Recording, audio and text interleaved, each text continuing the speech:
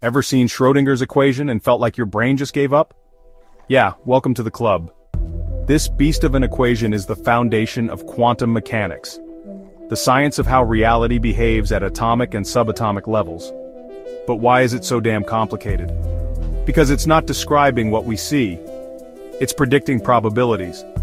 Of where a particle might be, how fast it's going. And even whether it exists in a particular state or not. We're talking about a world where particles behave like waves, and can be in multiple states at once. So instead of regular numbers, the equation uses wave functions, complex numbers and partial differential equations, all of which work in infinite dimensional space, and try visualizing that, good luck.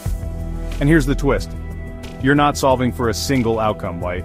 You're solving for every possible outcome at once, and then squaring it to get a probability. So yeah, Schrodinger math isn't hard because it's messy. It's hard because reality is weirder than fiction.